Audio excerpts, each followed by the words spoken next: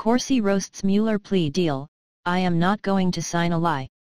Imagine, if you will, that your wife or husband launched a massive investigation about who stole the last cookie from the cookie jar.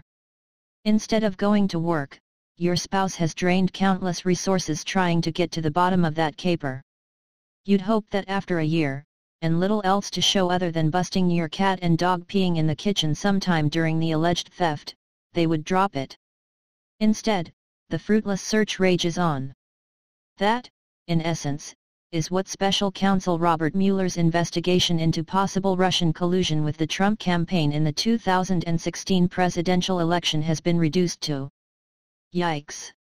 It's no secret why anti-Trump liberals are clinging so dearly to the Mueller investigation.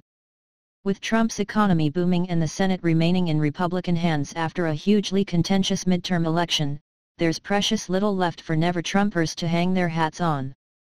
But appeasing a liberal mob should never be the basis of a massive federal investigation.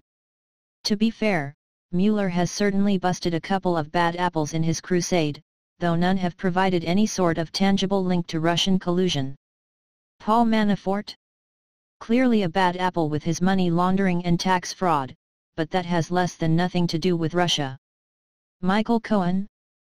He admitted to using campaign funds inappropriately, but what's Russia got to do with that? George Papadopoulos? He lied to the FBI and got his 14 days in prison, which he started serving Monday, according to Fox News.